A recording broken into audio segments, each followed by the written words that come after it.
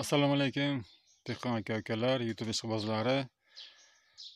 Bugungi videomiz bir biz pomidorni yana bir xavfli kasalliklardan biri qarason kasalligi haqida tayyorlaymiz dehqonlarimizga juda jiddiy shikast yetkazadi ko'chatlariga.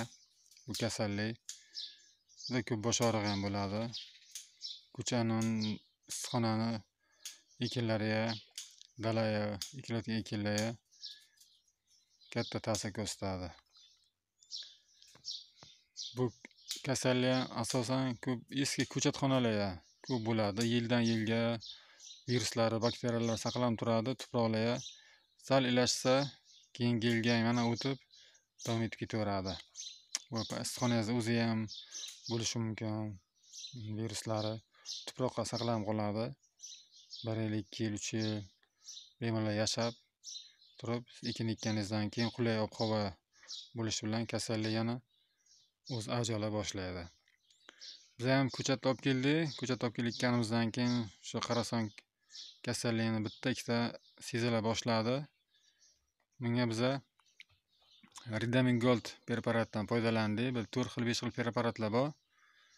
Redamin gold bilan ko'p ishlaganim uchun man redamin gold preparatini dan foydalandim o'n litrga yigirma gramm qilib mana mana shu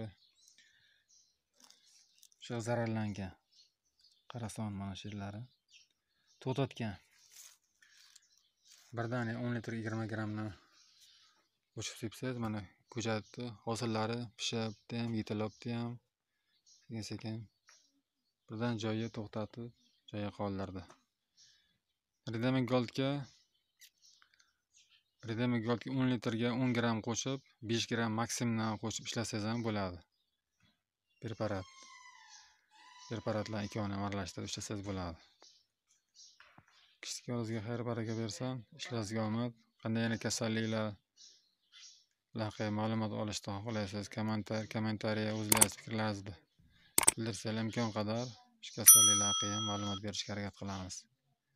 Sog' salomat bo'linglar.